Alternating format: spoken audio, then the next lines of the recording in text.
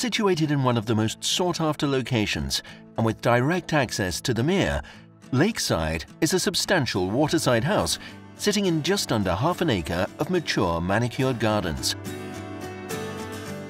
The entrance vestibule leads through to the hall with WC off and gives access to the three good-sized reception rooms, the largest of which is the dual aspect drawing room with open fire and French doors through to the conservatory.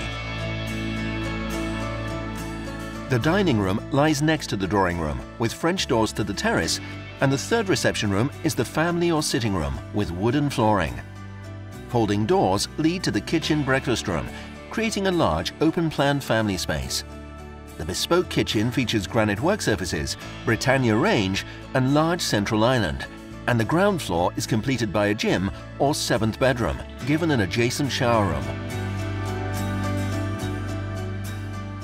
The principal bedroom has a walk-in wardrobe and ensuite bathroom, and there are five further generously proportioned bedrooms, two of which are ensuite, with the remaining served by a stunning family bathroom. The majority of the gardens lie to the rear, with a raised stone terrace abutting the entire rear elevation. The lawns are bounded by mature herbaceous borders, with hedged boundary providing privacy. Steps from the lower lawn lead down to a stone terrace with access onto the mere via a timber jetty.